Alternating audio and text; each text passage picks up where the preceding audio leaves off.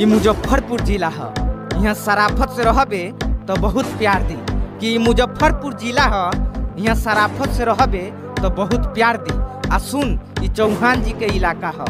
आ ज़्यादा औकात दिखेबे न तो थोड़ी टंगड़िया आ बीचे बीचे फाड़ दी।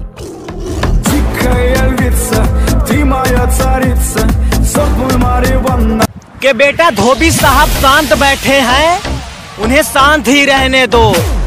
बेवजह से धोबी साहब से गुंडई और दुश्मनी मत फान वरना जिस दिन धोबी साहब उठ जाएँगे ना बेटा उस दिन आ जाएगा तूफ़ान